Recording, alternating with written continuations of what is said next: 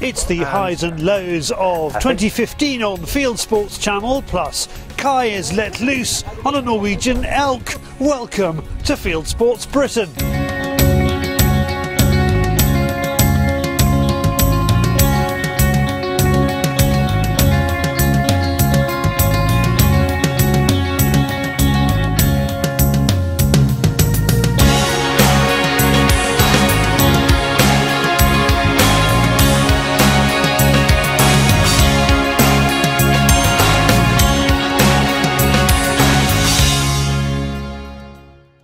We're just trying to do a little bit of filming. You couldn't just move out of the back of the shop, could you? Sorry, what saw that today then? Uh, Wales doesn't have a capital, does it? inch high, Yeah. and it is just About that far out. hither, yeah. Okay. And that's So, Did you just say hither? hither. Yeah, Come hither. hither. Is that what? Oldie worldly English. Well, Cai was teaching me those words. Come on, boys. Let's get it together, please. Traffic is a problem at the game fair, so here is my new traffic manager. Hello, boys and girls. Working on Field Sports Channel this year has taken us from the Arctic Circle to the equator, from the mountains of Kyrgyzstan to the hills of Hungary.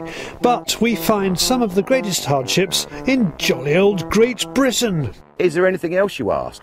Well, yes, there is. You feel you can get a car that's. Oh, God, no, you've got a car. Finally, you can.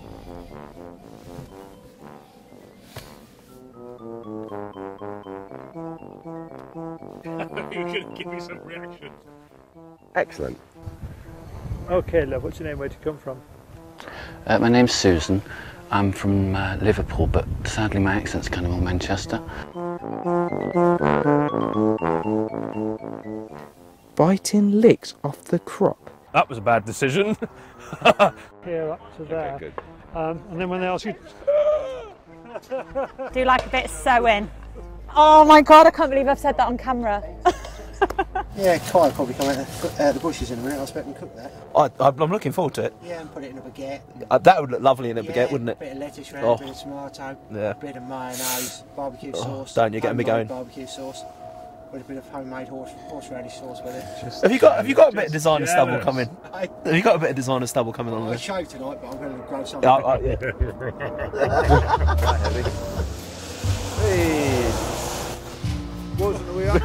The award for presenter under pressure of the year goes to Tim Pilbeam, stuck on a Scottish hillside in one of the worst days for midges anyone can remember.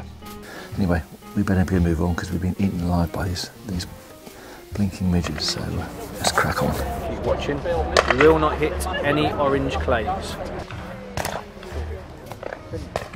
Hi, mommy. Hi, daddy. I will be in a TV. Welcome to Clay Sports. Coming up, we tackle the Jolly Green Jack Pike Giant. Welcome to Clay Sports. Coming up, we tackle the Jack Pike. Ah, Jolly Green, Jolly. Peter Wilson is our star presenter for Clay Sports, our monthly clay shooting show. He is a busy man, so another stellar shooter, Abby Ling, kindly steps in, though she's a lot more careful about what she says. No, I don't know. Sounds a bit blowjobby. Jolly Green Jack Pike Giant. Queen guitarist, national treasure, and There, happy? And it's waterproof. You can go out in the rain. There you go. but this is not a dog for normal people to have. Yeah, you will say with that, I'm not normal. yes. Show it. Lovely setting for a good party. Me and you. There's a me and, party, me and Dave. Have you got your lens cap up or down? Thank you. That'll make life a bit more. Oh, I wonder why I couldn't see much. This is David in Kyrgyzstan eating local cheese that he believes is pony's testicles.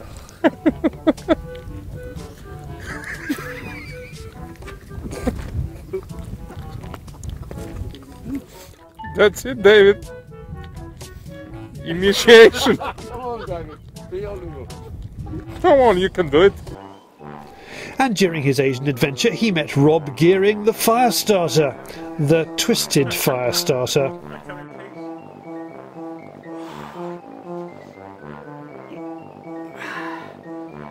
Yeah, look, there's a lovely bit of Harkeela bum fluff. Life will never be the same, and David's hair certainly has a life um, of its own. I haven't washed my hair for a while. Brilliant. It's great. Now, all that remains for me to say is a big thank you to everyone who has appeared on the show this year, and to all of you like minded folk out there for being part of the Field Sports gang. Kissy, kissy, kissy. Thank you for your continued support. We really couldn't do it without you. Now, somebody else who needs a bit of support, probably a girdle, it's David on the Field Sports channel, News Stump.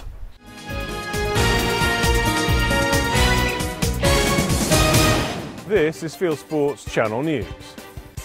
More than 250,000 people supported their local hunt meets across the UK on Boxing Day. The showpiece events that often take place in market squares are a sign, say the Countryside Alliance, that the ban on hunting with dogs is in tatters. This one shows the Chipsterville Foxhounds meet in Wiveliscombe, Somerset, in the Sussex town of Lewes, where the antis tried and failed to get the hunt banned from the town centre. Just a few saboteurs turned up to protest, while the Southdown and Eridge Terriermen put on their usual show of being foxes.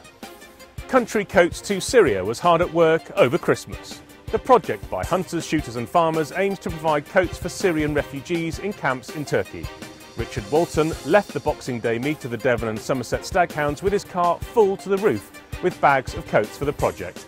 Search for Country Coats to Syria.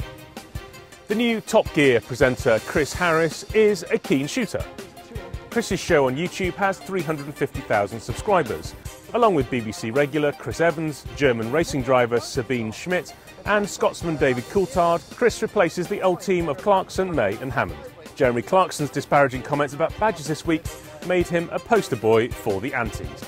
A country music star is feared dead after his duck hunting party was struck by bad weather. Backroad Anthem lead singer Craig Strickland has been declared missing and his pal Chase Morland found dead following what appears to be a tragic accident. The pair went duck hunting on an Oklahoma lake during the Christmas holidays, and the pair's boat was found capsized early on the morning of the 28th of December. And finally, Toyota wins the Pants Prize this week. It's pulled a TV commercial after pressure from animal rights groups, even though the animals in it were all CGI. In the ad, animals are shown to look forward to their demise at the hands of hunters because it means they get to ride in the back of a Hilux. Thanks to YouTube channel Hunt and Fish Mike for being brave enough to show this clearly horrifying commercial. You are now up to date with Field Sports Channel News. Stalking the stories, fishing for facts.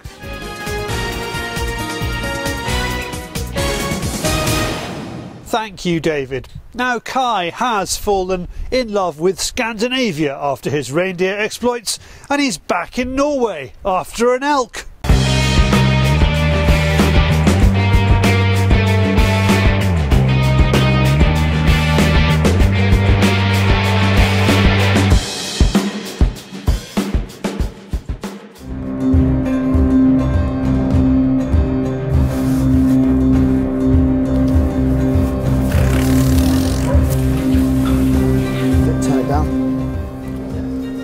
Is a moose not a moose? When it's an elk. And that's just what Cai is going to be hunting this weekend in the Norwegian forests.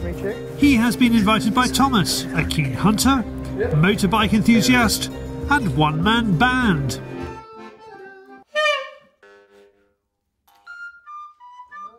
He's a bit eccentric, which is lucky because Cai's friend Trigger is no shrinking violet. Looks like our tame wild game cook has quite a weekend ahead of him. Let's start the hunt with fireworks. Why? Who knows, but there it is. I was about to hit the deck. I, I thought we were being shot at. It's just gone seven o'clock and they're putting fireworks in them on. These guys are bloody crazy. While some hunters like to keep the noise to a minimum, in Norway they start the day with a bang.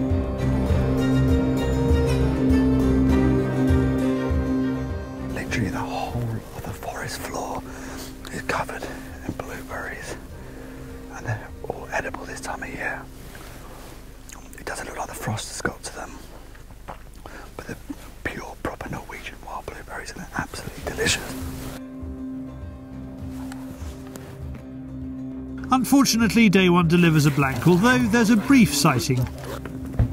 Wolves are being blamed for a drop in numbers. Fireworks are not. So we're here in Thomas's refrigeration unit where I've got a calf that's been hanging for about four days now. So I'm going to take the shoulder off this calf. I'm going to make a fantastic curry this evening. I'm going to dice it up and make an Indonesian style curry. At the most we shot 90 moose. 90 moose? 90 moose and this quota this year is 15. And you see what's hanging here. That's incredible. So Three nine- calves. So 90 moose down to 15 and you left us three calves here at the moment. Right. And that's because of the, the wolves and... Yeah. That's amazing. That's It's amazing. But it was too much. I mean, it was too many. Yeah. Yeah, that was not good either because it destroys the forest. It was too many moose, but now you, you got it down to number. but now they're getting a bit The- low. The pendulum, you know. Yeah. So you just want to rise up again. Right. And that's why when we're out there today, you're, you're quite strict with managing. So Yeah. no cows. No cows. Um, no twin calves. So only only there's Right, one calf. Um, only the bulls that has got more than four or one.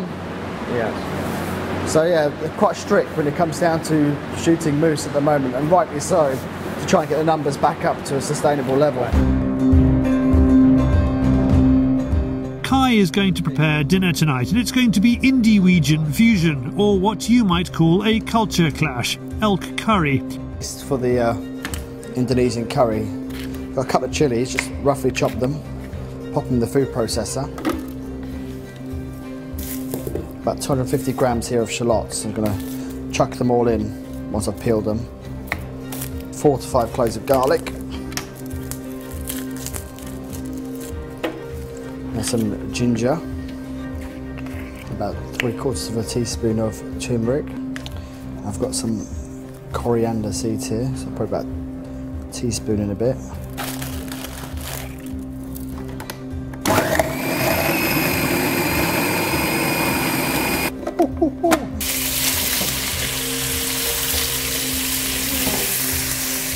You're to add brown sugar and lemongrass to it, and kaffir leaves and lime too. So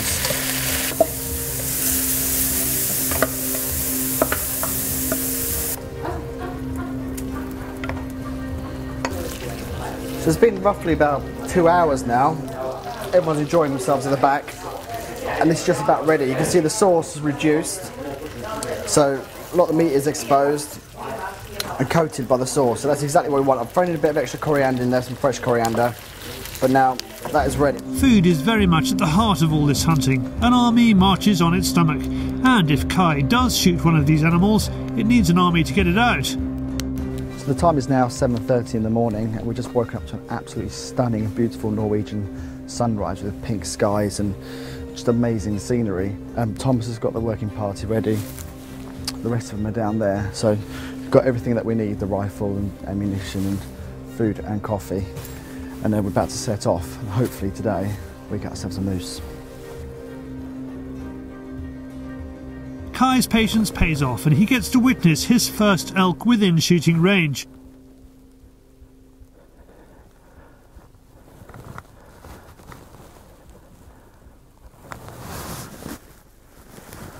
I can't see it.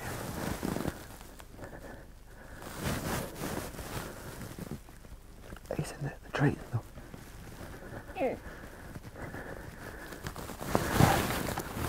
The bull and calf, however, do not present a shot, and they move off. I can see his ass. I can see his antler. I couldn't see anything in the middle. No. That was that was incredible. That was incredible. A few minutes later, a shot is heard. The bull has fallen to one of the other hunters. You recognise it? I waved at it. It's absolutely incredible. It's the first time I've seen a, a shot moose. And you were saying that you think this is going to be over 500 kilos in weight. by weight. That's amazing. I'm used to seeing red deer in England and fallow deer.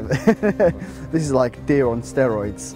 And he, he came, he came by us, and I could see his behind, and I could see his antler. I just couldn't see the middle, and then he, ju- he just went. And then, luckily, one of these guys here down the line, yep, But that's a group effort, so everyone, everyone here is part of a team. Work, everyone works together. A lot of meals.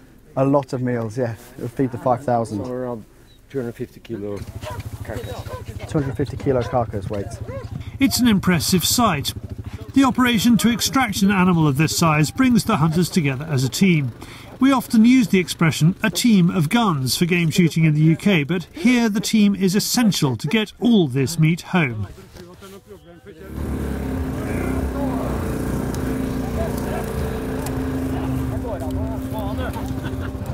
Cai is used to red and fallow deer, but this is something very different.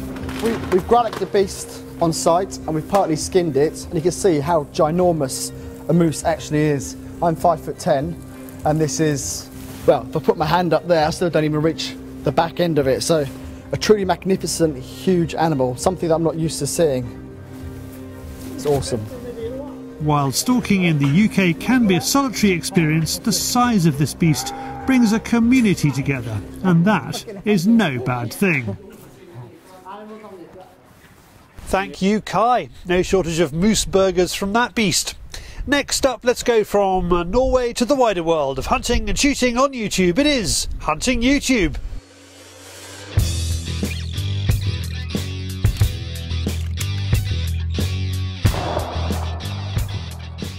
This is Hunting YouTube, which aims to show the best hunting and shooting videos that YouTube has to offer. It's been an uncomfortable week for rabbits. Viewer Howie Halliday from New Zealand sends in this film of Billy the Springer Spaniel and Archie the Cocker Spaniel. The sun is shining and the sky is blue, he writes, just to remind all you in the Northern Hemisphere that winter and rain won't last forever. Well, look at this, Howie. Despite what you see on the news, here is Dalemews 1 in the UK enjoying perfect conditions and more rabbits than his team of hawkers can fit in their bags. They're out with Stella and Alan's young Harris. Bigger rabbits now. Somewhere in Poland, RoeStalker is after driven hares and walked up pheasants on Christmas Eve. For a flavour of partridge shooting in Cyprus, real snap shooting stuff, have a look at Ertogrul 12's film. Blink and you and he misses them. And for duck and goose shooting in Canada, hired to hunt by Ongaro's outdoor outfitters is an accurate reflection of a goose guide's job the world over. Maybe with a few more men and machines than some are used to. Two films now about men, their dogs, and their hogs. This is how they do it in New Zealand. A man, an old dog, a workman-like rifle, nice and simple. This film is long. There's German for two minutes before you get to the action. It is serious stuff, as you can hear the dogs having it out with an injured sow. This dog handler has a rifle and a spear, shouts rude words at his dog, which is funnier than when English shooters do it, and you never quite see the ball. That's us Europeans making life complicated. And finally, there are lots of films on YouTube this year celebrating the Boxing Day meets up and down the UK. They are films of both defiance against the ban on hunting with dogs and a growing sense that, whatever the antis claim, we are winning the hunting argument. This is the Tiverton Foxhounds with more than 50 horses assembled in the Devon market town and its main street lined with people to see them on their way. That's it for this week and for this year. If you have a YouTube film you would like us to pop into the weekly top 8, send it in via YouTube or email me the link charlie at fieldsportschannel.tv. Well, thanks for watching. We're back next week, next year, in fact, when we have new shows to tell you about.